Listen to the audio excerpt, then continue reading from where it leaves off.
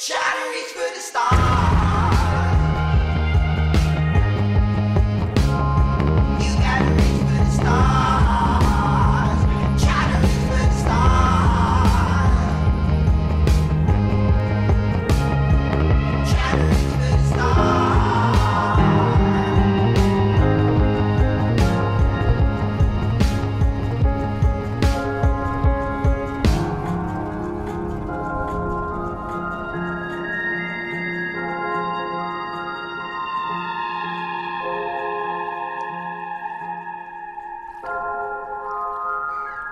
Thank you.